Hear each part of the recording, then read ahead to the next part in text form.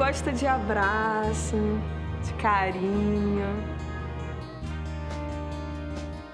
Mulher gosta de ficar bonita.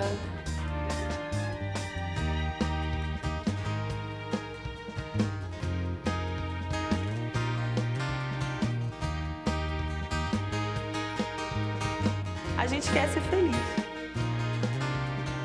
Mulher quer ter o seu espaço.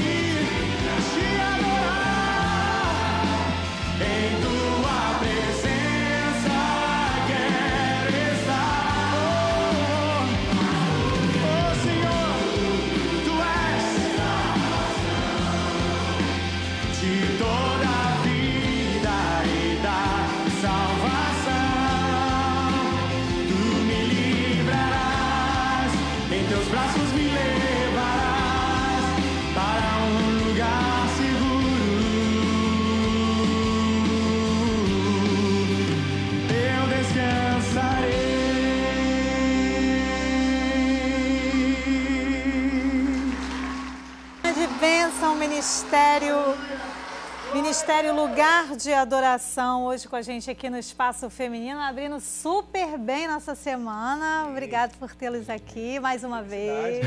Nossa casa já. Isso, fica à vontade. Tiago no vocal, Felipe aqui no teclado, Samuel lá na guitarra. E é uma grande bênção tê-los aqui para a gente, é, nesse tema, na proposta de hoje, que visa o nosso crescimento da nossa fé, ouvir tudo o que nos uh, faz crescer em fé. Essa é a nossa, essa é a nossa, é, é o nosso propósito, o nosso foco hoje nessa segunda-feira no espaço feminino. É o crescimento da nossa fé. Por isso a gente precisa ouvir esses louvores que nos abastecem e fazem com que a nossa fé cresça e se movimente dessa forma. Porque é no descanso mesmo, como você cantou, no descanso é que está a nossa salvação, diz o Senhor Isaías no capítulo 30, no versículo 15. É nesse descanso, está o vigor, a força do Pai. E é bom tê-los cantando aqui esse, essa mensagem. Amém, amém. É sempre bom estar. Tá, quero já agradecer pela oportunidade. É sempre bom falar da palavra de Deus através da, das canções. Sempre que precisar, a gente está aqui e descansar no Senhor, né? Essa canção veio em dias, dias difíceis na minha vida e mas sempre há um lugar seguro. E esse lugar é na presença do Pai. Tá passando por dificuldade, tá passando por algum aperto, vai para pertinho dele que você fica melhor. É no descanso dele que a gente fica exatamente nesse lugar, não é isso? No lugar seguro do Pai. Agora, é... Felipe, você, esse CD que vocês estão hoje trazendo para gente, o lugar de adoração, ele é qual é o, o, o caminho deles na, na proposta que Deus coloca para o ministério, que é o título do próprio CD, Lugar de Adoração. É para trazer o povo ao conhecimento do, do que Deus tem colocado mesmo para vocês. Qual é aquilo, o que, que, é aquilo que Deus coloca no coração de inspiração nesse então, tema? Márcia, é, a nossa proposta é mostrar que Deus não está à procura de pessoas que só adorem Ele em determinados lugares, como só na igreja. Se tiver um ambiente propício. Isso, ou músicos tocando, ou uma atmosfera que a princípio seja de adoração dentro do seu carro, num uhum. trânsito, Legal. numa fila de um banco, num uhum. hospital, ali, quando você fala, Deus, eu estou aqui, aberto, o coração totalmente de, é, inclinado para a presença dele, ali se faz um lugar de adoração. E essa é a proposta. Não importa o lugar, não importa as pessoas, se tem som, se não tem, se tem músico, se tem luzes. Deus não se impressiona com nada disso. É. Ele quer o nosso coração. Simplesmente isso. Davi disse: Senhor, o que o Senhor quer? Ele disse: Filho meu, dá o teu coração. Ele quer o nosso coração e essa é a proposta do lugar de adoração. Muito bem. Então, aí, para você curtir com a gente o programa todo, o Ministério Lugar de Adoração vai estar aqui. A gente vai conversar mais, vai saber mais sobre, sobre a caminhada desse ministério. Queremos ouvir testemunhos, Amém. viu? O Samuel também, que. Amém está aqui com a gente. Samuel, grande bênção tê-lo aqui. Amém, Conta para a gente depois testemunhos daquilo que Deus está Samuel é tá movimentando o coração. Não, é grande bênção todos vocês. Então a gente quer ouvir também o Samuel e todos. E hoje no programa, a gente, daqui a pouquinho, depois do intervalo, no outro bloco, nós vamos abrir a palavra, porque hoje é dia da gente pensar nas verdades da palavra, é, é estar com essas verdades acolhendo essas verdades no nosso coração, eu quero pensar com você sobre a reflexão a sabedoria de Deus viva em nós. Essa é a nossa reflexão e vai ser grande bênção. Você pode aí, grande bênção, você pode ligar para as pessoas entrarem e acessarem pela internet a Boas Novas, porque não, ela não está só uh, na TV convencional. Assiste-se a Boas Novas pelo, pelo tablet, pelo telefone, pelo computador, enfim você é só, é só ligar e convocar o pessoal para assistir pelo www.boasnovas.tv e a gente está transmitindo o programa ao vivo, a produção toda da Boas Novas em tempo real, tá bom? Daqui a pouquinho, depois do intervalo, a gente vai refletir sobre a palavra a sabedoria de Deus viva em nossos corações. Agora no espaço feminino também tem lugar para você que está fazendo aniversário hoje e está com a gente e é uma grande honra. Você já recebe aí esse louvor como presente. Junto a isso, o texto que será motivo da nossa oração. E é uma pérola para o seu coração, porque essa semana toda nós vamos estar pensando nessa sabedoria viva de Deus em nossos corações. O texto está aí do apóstolo Tiago, o capítulo 1, versículo 5. Se você tem necessidade, falta de sabedoria, não sinta-se privado, não. Peça a Deus que a todos dá livremente. E detalhe, de boa vontade, porque Ele é generoso e dá essa sabedoria a você, se esse é o foco. Eu acredito que sim, todos nós, né? Felicidade. Agora, nós também temos uma sugestão para você vinda da Rinodê. Dá uma olhadinha.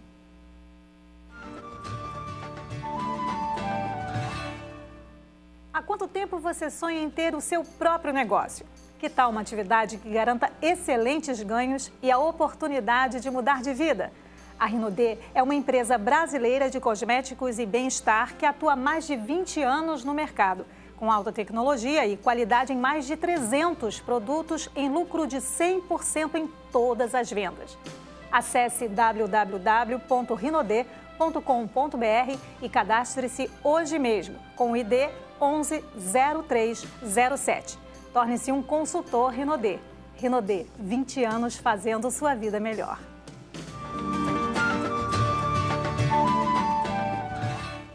Daqui a pouquinho, depois do intervalo, tem mais espaço feminino e a reflexão da palavra sobre a sabedoria de Deus viva nos nossos corações. Já já, depois do intervalo.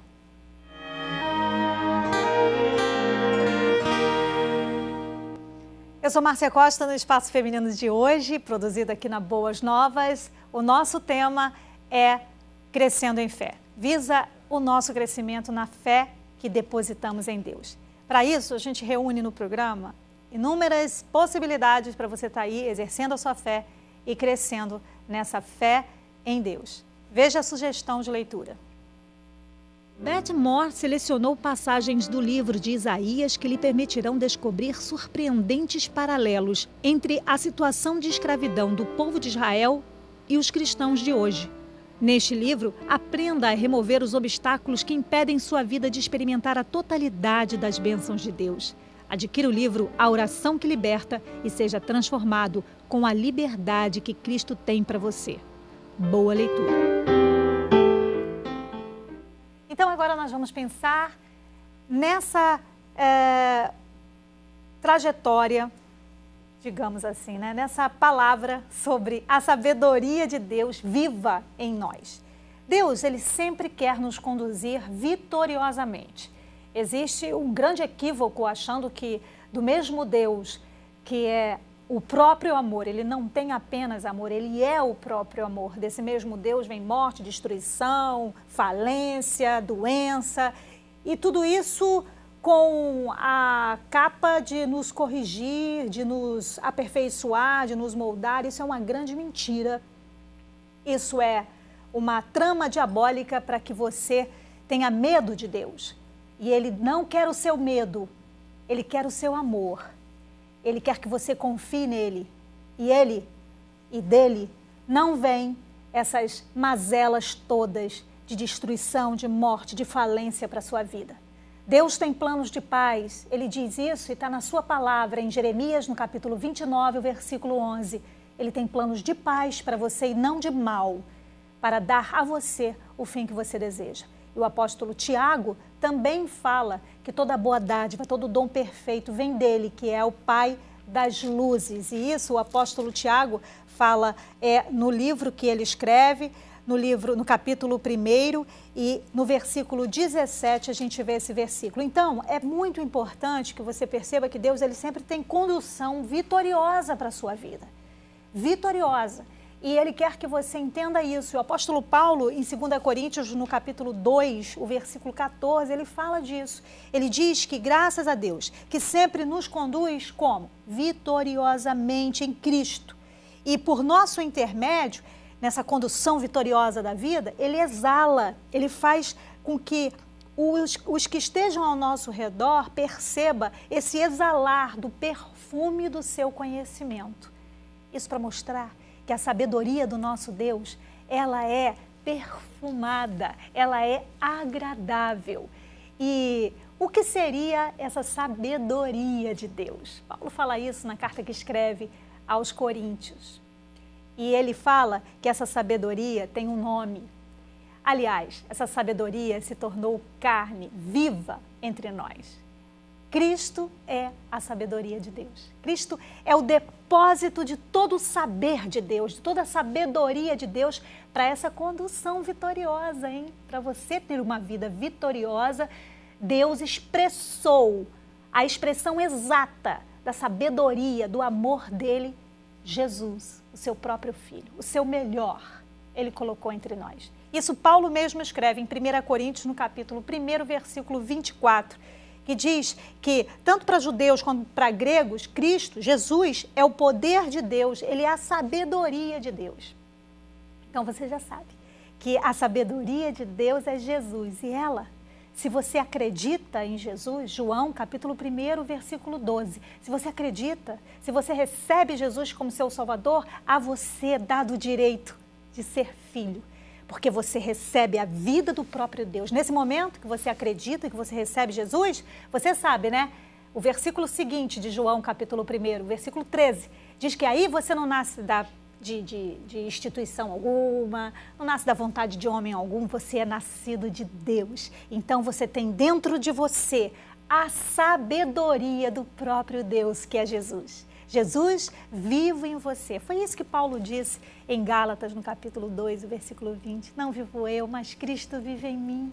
E a vida que eu vivo agora, eu vivo pela fé no Filho de Deus. Ou seja, essa sabedoria, ela está depositada na forma do Espírito vivo de Jesus na minha vida e na sua vida. Isso é muito, muito, muito maravilhoso e a gente tem que receber isso e se dispor a isso e crescer nesse entendimento, porque dentro de você existe uma sabedoria que se chama Jesus para te conduzir nessa vida vitoriosamente. E Paulo, inclusive em Romanos, no capítulo 10, aliás, no capítulo 5, os versículos 10 e 11, quando ele fala que antes nós éramos inimigos de Deus, antes éramos inimigos porque estávamos sem Ele, sem Deus, filhos da ira. E aí o que, que ele diz? Ele diz que fomos reconciliados mediante a morte de Jesus. E agora, tendo sido reconciliados, somos salvos. E não apenas isso, não apenas nos gloriamos só nisso, mas por meio de Jesus recebemos graça, reconciliação. Nos versículos 10, 11 e 17 do capítulo 5 de Romanos, Romanos, a palavra reconciliação, ela fica muito evidente, ela fica sendo repetida, repetida, repetida. A palavra reconciliado aí, reconciliação, ela é uma palavra grega que é catalassem. Essa palavra grega quer dizer, sabe o quê? Sabe o que é, quer dizer reconciliar? Sabe o que quer dizer isso? Quer dizer mudar, trocar. Ou seja, o nosso Pai, o nosso Deus, mudou as nossas vidas, que estavam, nós estávamos em trevas, nós estávamos, estávamos numa escuridão de entendimento, nós estávamos é, lançados num mar, num mar de equívocos, num mar de tolices. Aí, Deus, Deus, Ele coloca Jesus para dar uma mudança, para nos reconciliar com Ele, ou seja, mudar a gente dessa vida superficial, de escuridão, de equívoco, de trevas, dessa falta de lucidez, de clareza, de luz, de verdade, para nos colocar num modo digno de vida, num modo digno de viver, numa vida esclarecida, numa vida equilibrada, numa vida cheia de condução vitoriosa. Como? Nos apontando Jesus, nos trazendo Jesus, para que nós o recebêssemos. A salvação de Jesus não será disponível para você. Ela já está disponível para você, porque ele já morreu. O perdão de Jesus não será como quem para o futuro disponível a você. O perdão de Jesus já foi, porque ele já morreu e já nos perdoou de todos os pecados esse perdão, essa vida tudo que remete a essa vida de sabedoria, de entendimento, de crescimento, está tudo contido em Jesus que vive em nós. E essa mudança, que se chama reconciliação, que nos tornou capazes é, de sair de uma escuridão e vir para a luz, para a clareza, essa, esse lugar de troca, de condição, ele é, coloca em nós, Deus coloca em nós a vida do próprio Jesus para que a gente prossiga de glória em glória. Lembra-se, você lembra de uh, Provérbios capítulo 4, o versículo 18, que essa vereda, esse caminho, vereda é caminho, o caminho do justo, o seu caminho, ele é de glória em glória, é sempre para frente. Você não dá um passo à frente e três para trás quando tem a sabedoria de Deus, que é Jesus, dentro de você. Eu quero que você se aposse desse entendimento. Eu quero que você se sinta em paz, em, se edifique com esse entendimento de que você tem a sabedoria viva de Deus em você. E o que você precisa é explorar esse potencial de sabedoria de Deus que se chama Jesus dentro de você, para você poder viver como ele a vida que ele preparou para você. Paulo fala isso em Efésios capítulo 5, os versículos de 8 a 10. Antes a gente estava em trevas, agora nós somos filhos da luz. Então viva, viva como filho da luz. Ou seja, viva do potencial de clareza, de lucidez, de percepção, de discernimento espiritual, de entendimento mais amplo. E não apenas do que você está vendo, e não apenas do que você está ali enxergando. Viva mais amplamente, porque você hoje tem uma luz que é Jesus em você. E essa luz é sabedoria dele em você, para fazer você andar de modo digno de modo em que você se encontre de cabeça erguida, não andando embaraçada em equívocos e impressões, em achismos, em pensamentos equivocados. Em Efésios, ainda no capítulo 4, os versículos 22 até o versículo 24 e o versículo 29 também, Paulo fala sobre uma antiga maneira de viver que é, nós tínhamos sido ensinados. Essa antiga maneira de viver nos remetia a um homem, a um homem velho, a um homem velho no sentido de ultrapassado, no sentido de equivocado, de empobrecido. E aí Paulo coloca que agora nós precisamos estar olhando para esse potencial de sabedoria, que é a sabedoria de Deus na nossa vida, para a gente se revestir de um novo homem, um homem com uma mentalidade habilitada, capacitada para desfrutar tudo que Deus preparou para a gente. Isso vem da sabedoria dele que mais uma vez eu quero repetir, se chama Jesus. Você se revestindo desse Jesus significa você investindo em saber que potencial é esse que eu tenho, já tenho, porque Deus colocou em mim, da vida do próprio Deus. Esse potencial de Jesus vivo em mim, que me dá clareza, que me torna habilitada para pensar os pensamentos de Deus aqui nessa terra. E aí, a gente é, evolui, caminha e cresce nesse entendimento sobre essa sabedoria de Deus que nos mudou, que nos transformou, que nos renovou, e o nome dessa sabedoria é Jesus, para que que Deus é, disponibilizou todo esse potencial de sabedoria que, que se chama Jesus para as nossas vidas? Por que será? Para que isso seja só uma teoria? para que isso se torne só uma coisa para a vida futura, porque tem gente que vive o evangelho pensando só no céu, né? Ah, quando chegar no céu, coisa vai ficar melhor, quando chegar no céu, coisa vai ficar bacana, aí tudo bem, lá vai ser um descanso. E esquece que é tanto aqui na terra quanto para o céu essa vida proveitosa, onde a gente sabe para onde vai e a gente sabe quem é. Então, essa sabedoria de Deus, ela nos mudou, ela nos transformou. Para quê? Para que nós saibamos que ela é para as decisões da vida diária. No Salmo 18, os versículos 30 até o 35, o salmista diz que Deus é o caminho perfeito. A palavra do Senhor é comprovadamente genuína. Ele é um escudo para todos os que nele se refugiam. Pois quem é Deus além do Senhor? Quem é que faz coisas lindas, maravilhosas além dele? E quem é rocha, segurança, firmeza como nosso Deus?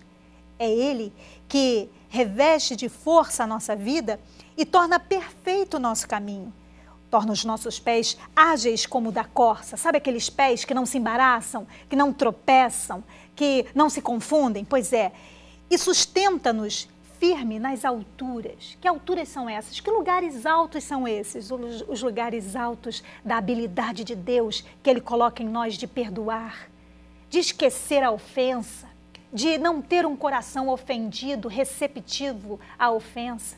Deus te colocando no lugar alto é, da reconciliação, o lugar alto é, do amor, do acolhimento, de edificar o outro, de não pensar só em si mesmo, mas pensar no que, que o outro está é, tá passando e precisa de apoio.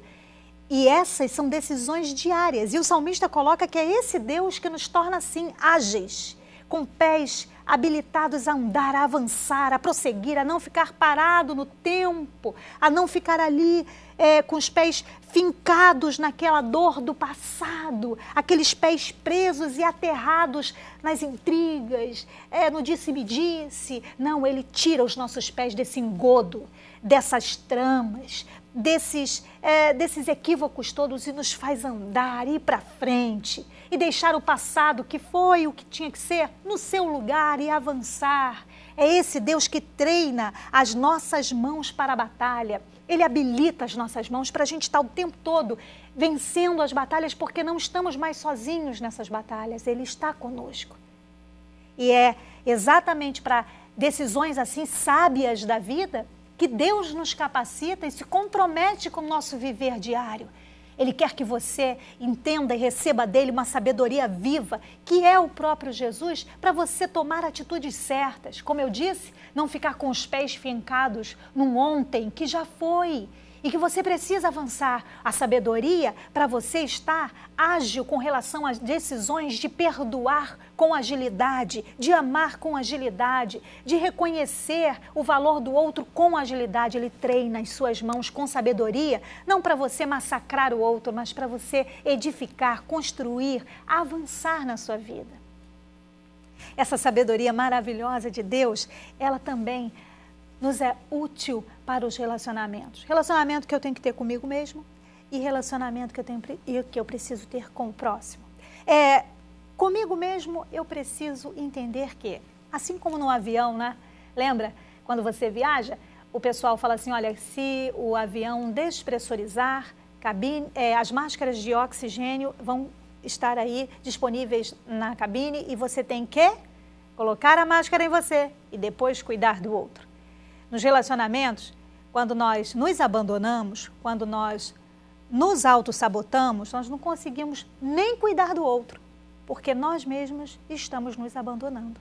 Por isso que a sabedoria de Deus é viva em você para fazer você se cuidar também, para fazer você se olhar também e não se auto-sabotar, porque se o outro vai precisar de você, primeiro você tem que estar cuidado. Primeiro você tem que estar acolhido.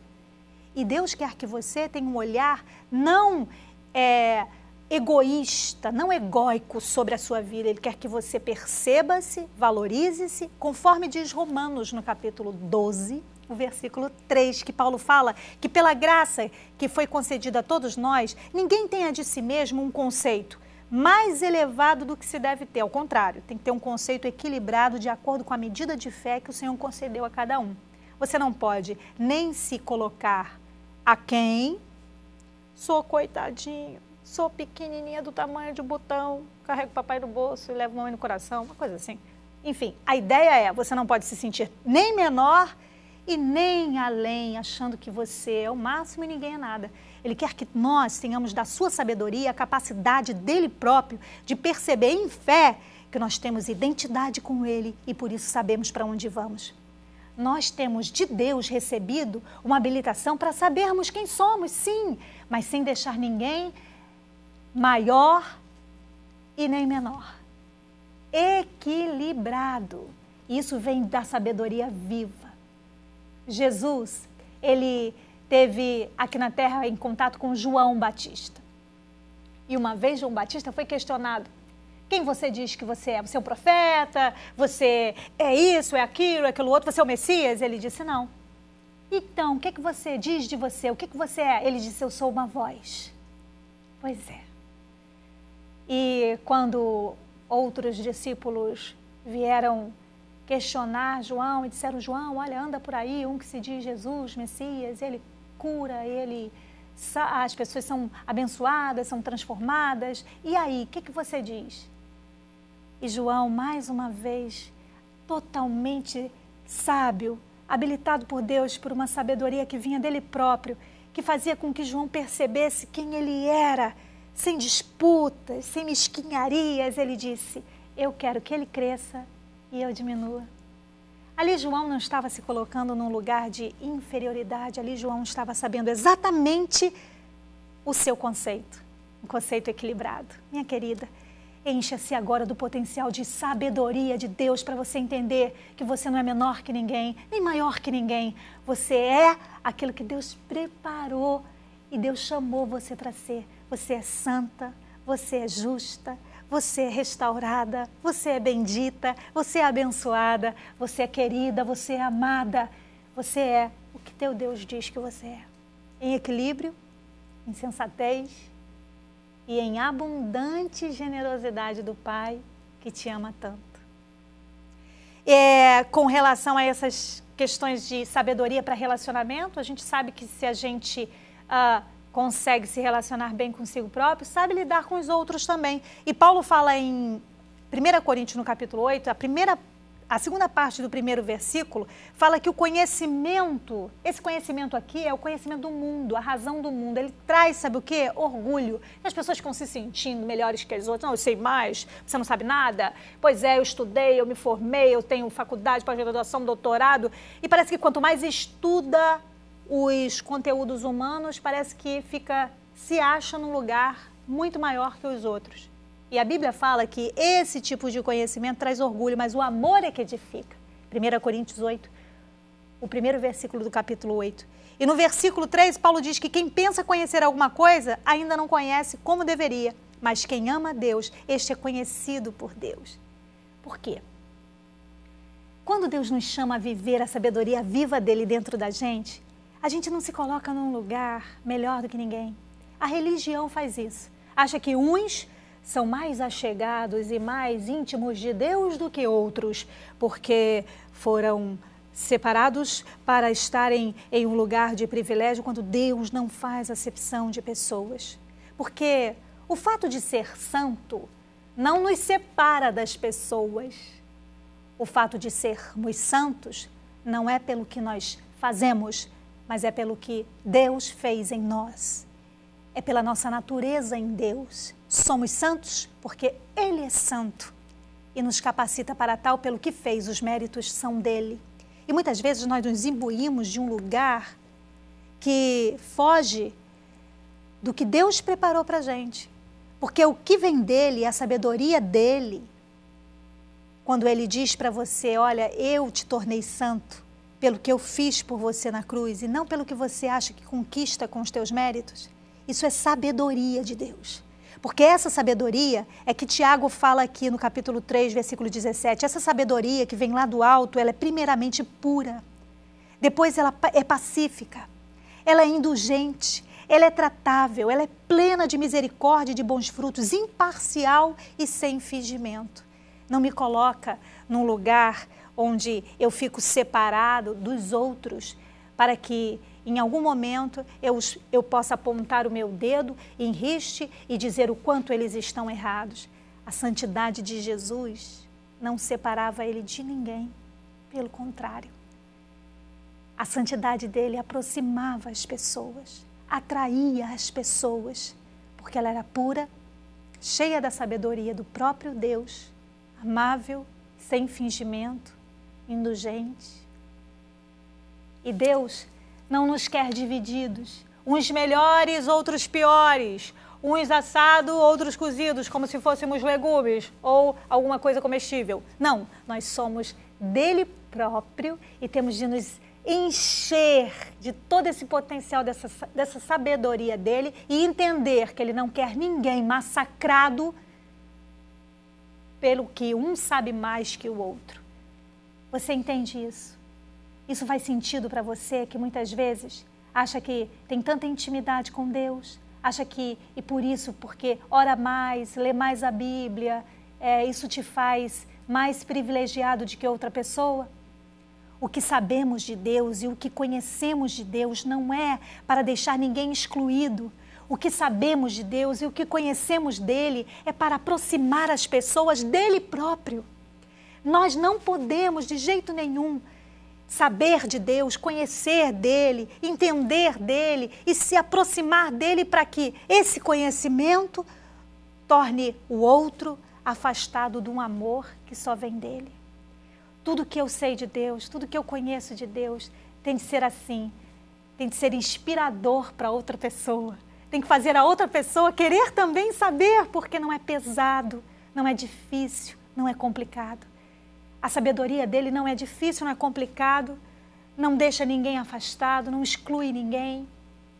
A sabedoria de Deus é Jesus, é a expressão do seu amor. Você entende que essa sabedoria só une a gente, só aproxima a gente e só conduz a gente a Deus? Então, se por acaso você é, está longe desse entendimento de sabedoria, hoje aproxime-se disso e veja: peraí, tudo que eu sei de Deus não é para afastar ninguém dele, pelo contrário, toda a intimidade que eu tenho com ele é para edificar as pessoas, para erguer as pessoas, para ajudar as pessoas. Paulo, inclusive, disse isso em 1 Coríntios 9, 22. Eu me tornei fraco para com os fracos. Ou seja, eu vou me aproximar deles e na limitação deles eu vou ajudá-los. O que eu sei de Deus não me faz maior que ninguém.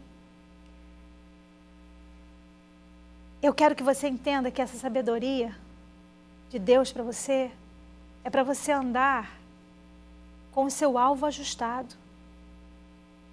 Deus preparou para você uma vida em que você saiba para onde deve andar. Ele tem dentro de você um espírito, ele colocou dentro de você o espírito do próprio Jesus, que é a sabedoria dele, para você saber onde, onde andar, para você ter o seu foco alinhado às prioridades. Por isso que Provérbios 4, dos versículos 5 até o 27, inclusive os últimos versículos, diz o seguinte: olhe sempre para frente, mantenha o seu olhar fixo no que está diante de você, pare de perder tempo. Paulo, quando fala em 1 Coríntios capítulo 9, versículos 24 a 26, ele fala de um alvo que a gente precisa manter e tentar aquilo e continuar aquilo perseverante, não em teimosia, em perseverança, porque Deus nos chamou para andarmos sabiamente, assertivamente e objetivamente para o alvo. Então, essa sabedoria você pode usar para não ficar atarantada sem saber por onde vai.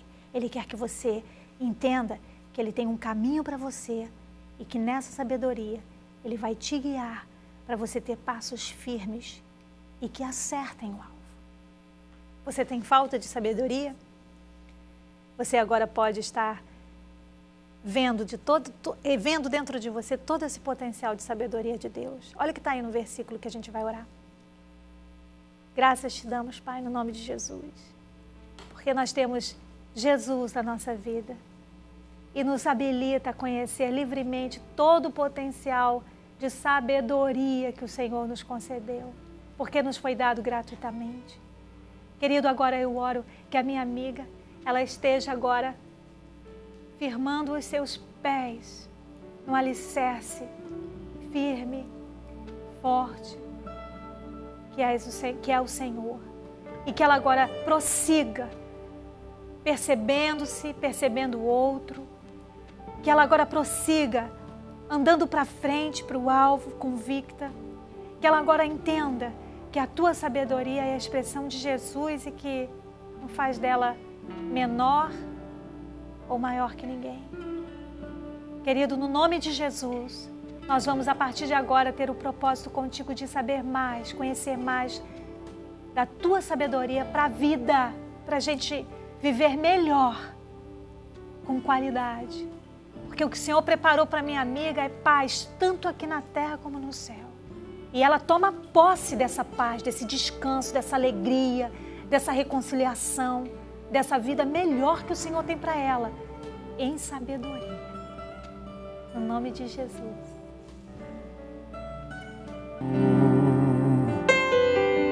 Não sei o que mais dizer, mas sei o que vou fazer.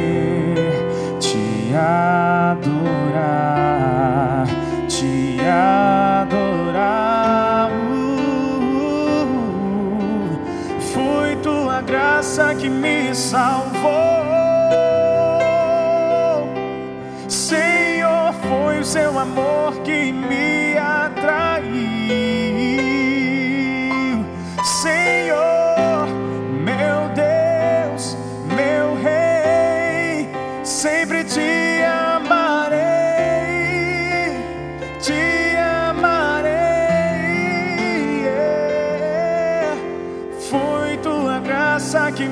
salvou.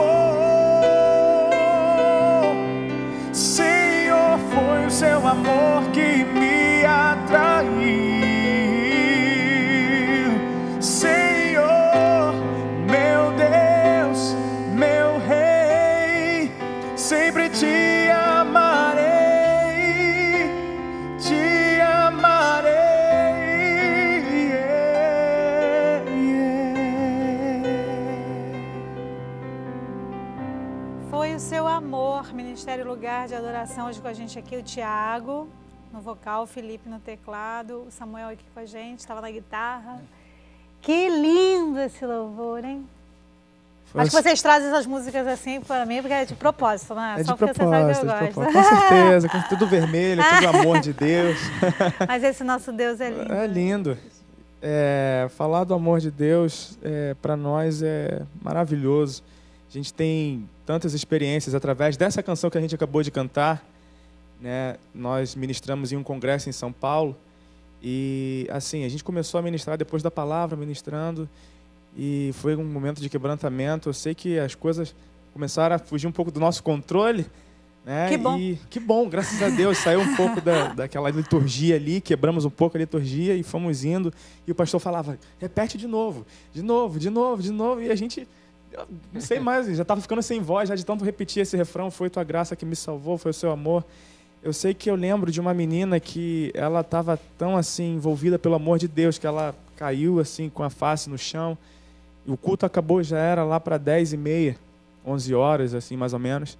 Eu lembro que eu não tive nem mais tempo de fazer nada, a gente não teve corpo físico para poder estar fazendo alguma coisa. E eu lembro que a gente saiu de lá esse horário, 10 e meia, fomos para os nossos quartos.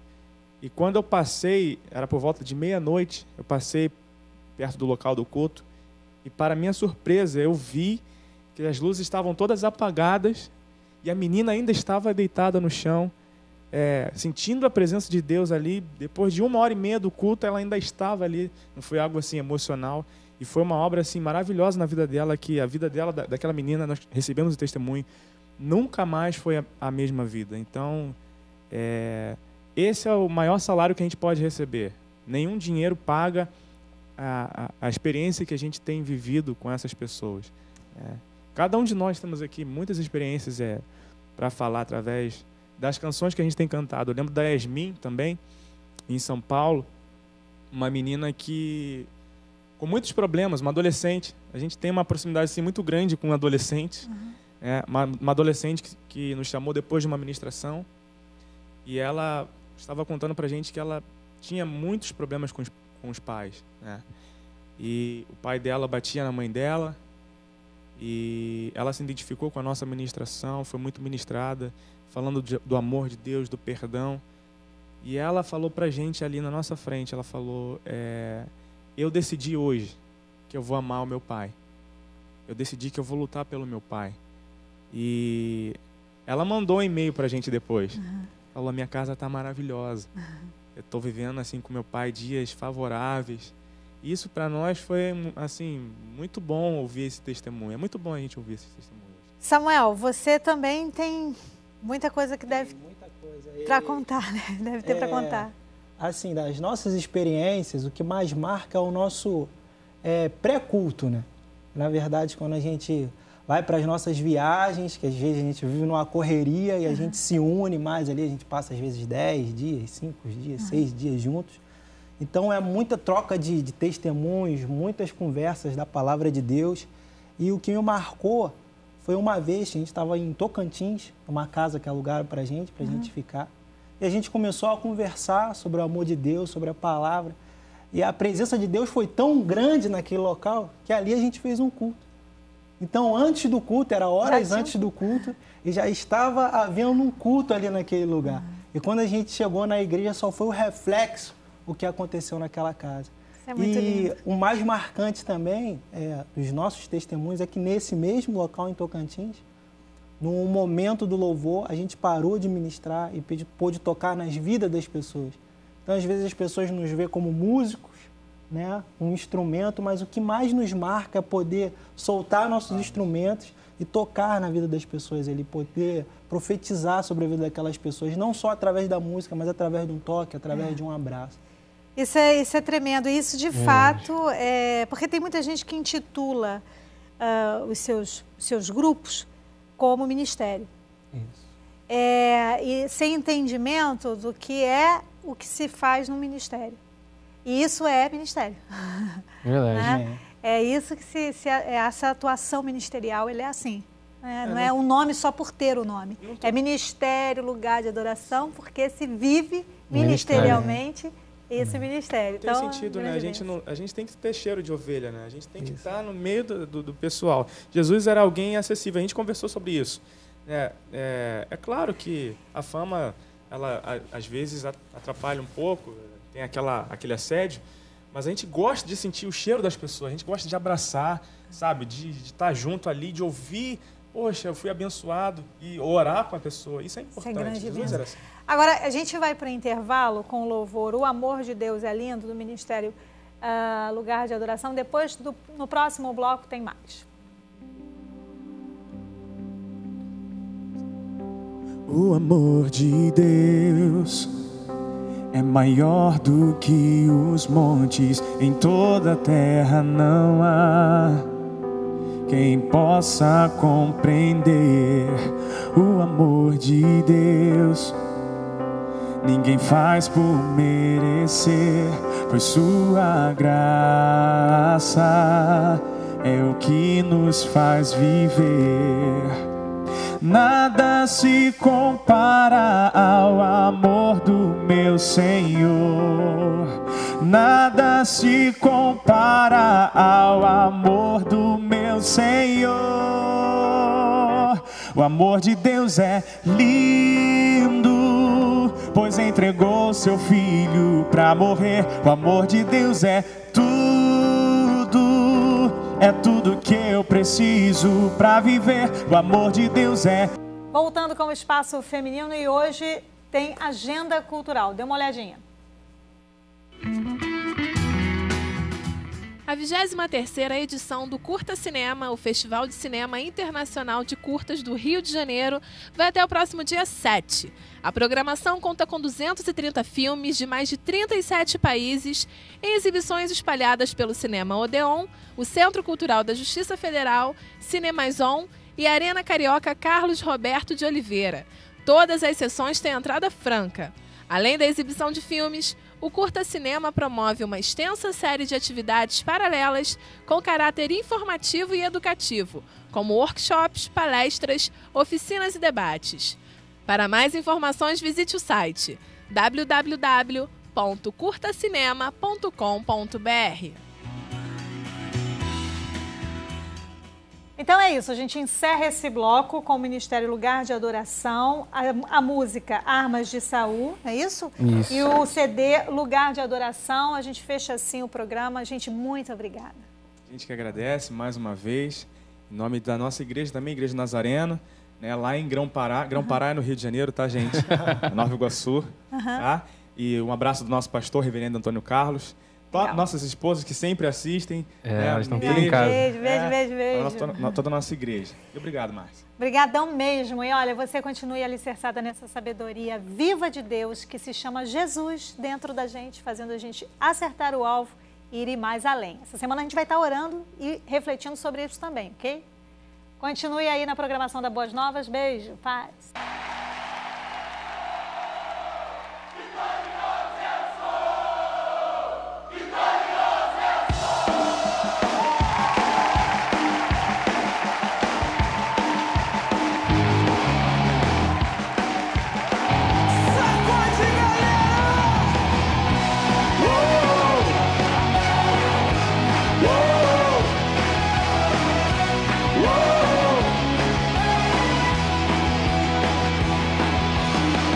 Pensar que sou pequeno, que em meio às lutas não vou aguentar.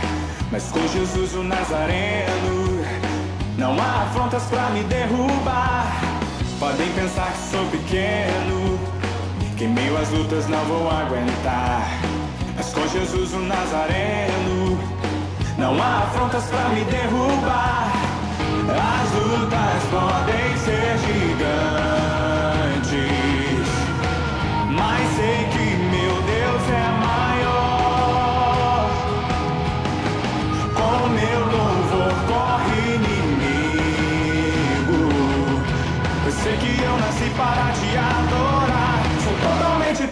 sou totalmente teu. Deixei as armas de Saul, mas em nome de Deus, esse gigante para sempre. Deixei as armas de Saul, mas em nome de Deus. Deixei as armas de Saul, mas em nome de Deus, esse gigante para sempre. Deixei as armas de Saul, mas em nome de Deus, vitorioso eu sou.